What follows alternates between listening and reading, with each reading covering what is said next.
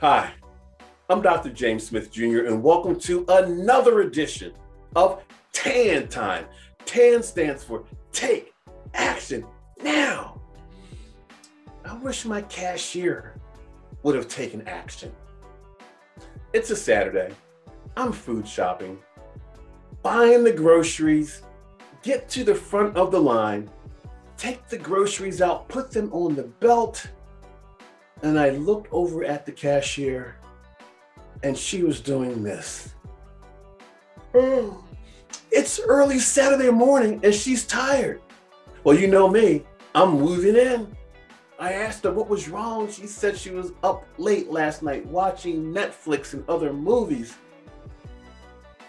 If you know you're going to work the next morning, you had to get up early. Why would you stay up? I know, I know, I know. She knows. And you know that when we know better, we should do better. Let me repeat when we know better, we should do better. Think about other situations in your life where you know you should be doing better, where you know you should be doing something different, when you know you should be getting your rest and self care. It's time to do something about it.